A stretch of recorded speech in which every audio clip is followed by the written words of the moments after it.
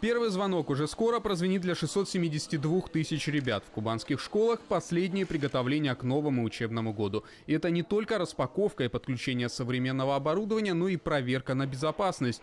Как и кто охраняет школы? Хватает ли камер видеонаблюдения? Соблюдены ли пожарные требования? Сегодня об этом говорили на заседании Краевой антитеррористической комиссии и оперативного штаба. Совещание провел губернатор. В зале руководители управлений ФСБ, полиции, МЧС и прокуратуры. Вот эти камеры видеонаблюдения, тревожные кнопки нужны не для красоты. Не для красоты, а для того, чтобы они работали. В первую очередь на безопасность учеников и детей. Что сегодня коллеги из МЧС и Росгвардии отмечают? Плохое освещение школ, захламленность пожарных выходов и недостаточное наличие камер видеонаблюдения. Ну, коллеги, если вот дополнительная освещенность – это деньги, дополнительные камеры э, видеонаблюдения – это тоже дополнительные деньги. Но вот захламленность пожарных выходов, ну, тут никаких денег не нужно. Это просто халатность, безразличие и руководителей школ, и тех, кто у вас, коллеги, глав муниципальных образований, за это отвечают. В Краснодарском крае свыше 1200 школ. Большинство из них успешно прошли проверки. Но есть места, где на безопасность смотрят сквозь пальцы. В Щербиновском районе, например, в 9 школах во время каникул охранники дежурили только по ночам. Днем свободный доступ. Еще одно из распространенных нарушений – заваленные вещами эвакуационные проходы. Ощущение, что специально Значит, летом все эти пути эвакуации э, заложены. Туда снесли весь хлам, все, что только можно. Неужели директора-то школ не видят и не понимают, что они же за это отвечают? Уехали на каникулы, бросили и все осталось. Вообще вот непонятно.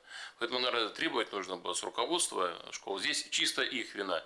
Значит, директора, преподавательский состав и те, кто там проводит разные эти мероприятия ремонтные. Белореченскому прокурору Щербиновскому до 20 августа мне представить докладные записки о том, что сделали, провели мероприятия по исправлению ситуации. На подготовку к учебному сезону в регионе выделено более 1 миллиарда рублей. Это деньги, в том числе на создание безопасных условий в школах и капитальный ремонт зданий. Но несмотря на наличие финансирования, есть случаи, когда на местах не могут даже заделать дырки в заборах.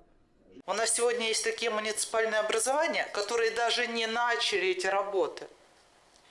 Не начали, не начали кровли ремонтировать. Ничего не начали. У нас и сегодня мы столкнулись с проблемой, и это обсуждалось со своими коллегами, заместителями глав на прошлой неделе, что у нас некоторые школы пойдут дети в другие школы, потому что мы к первому сентября не успеваем. Это абсурд и парадокс, что мы даем деньги, а их не могут люди взять. Алексей, знаете, абсурд и парадокс в том, что эти зам главы, которые курируют эти вопросы, а и до глав тоже да, мы доберемся, до сих пор продолжают работать. В этом абсурд и парадокс. Сколько районов примерно таких? Сегодня три таких района, которые прям горячие. Вот еще раз, то есть Белореченский, Крымский, вот Тбилисский районы. Те, кто их вернул, продолжают работать. В этом парадокс. Смысл тогда выделять еще, я думал сейчас сказать, что денег не хватило, то нужно еще добавить. А мы, кажется, существующие возвращаем. Это же, ну, абсурд.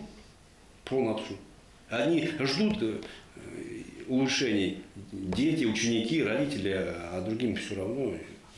Какие же они зам главы, которые курируют образование, если доводят ситуацию до такого сегодня критического уже уровня? Ну как, если деньги вам выделили, а даже никто даже не приступил к попытке их освоить. Принцип один. Не могут осваивать, не должны работать. Все те, кто не может освоить деньги. Для людей, в первую очередь, для жизни в муниципальных образованиях.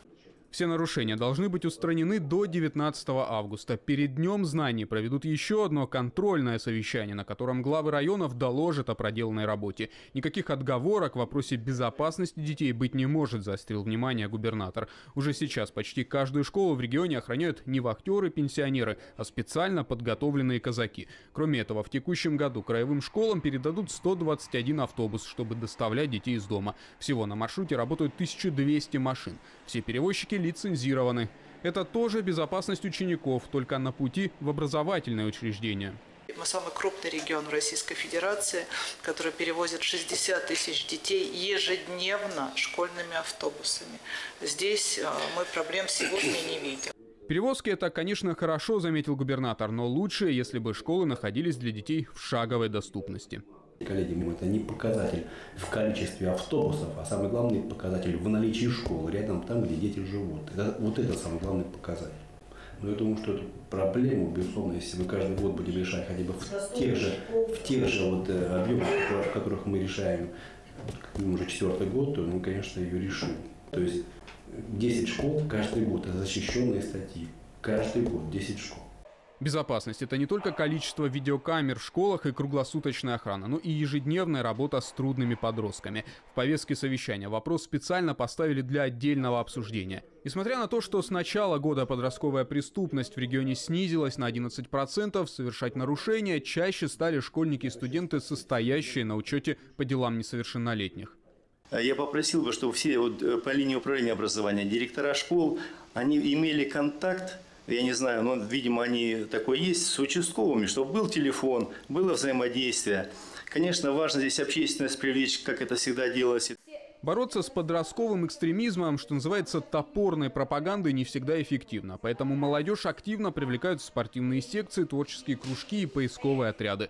В школах уже проводят уроки самбо. Вениамин Кондратьев предложил подумать и над принципиально новой системой наставничества для трудных подростков. Поручение здесь конкретно Министерству образования Воробьева Ирины продумать алгоритм закрепления э, по принципу наставничества и создания специальных отрядов.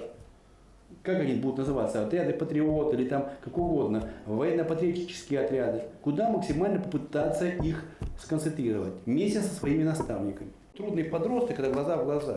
С ними надо работать. Я уверен, мы и с полицией договоримся, мы и с военными договоримся, и с казаками договоримся, и с, с, с иными, если там укажите, только вот, э, как вы видите правильно, педагогически правильно, за кем их закрепить, с кем их сконтактировать, и чтобы они на самом деле по-настоящему верили этому человеку. И психологически они еще должны его принять. Общаться с молодежью необходимо на их языке, отметил губернатор. К работе в школах станут привлекать психологов, разбирающихся именно в современных тенденциях.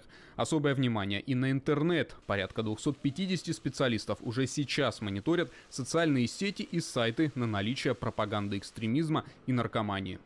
Александр Иванченко, Денис Перец, Вадим Волков, Кубань 24, Краснодар.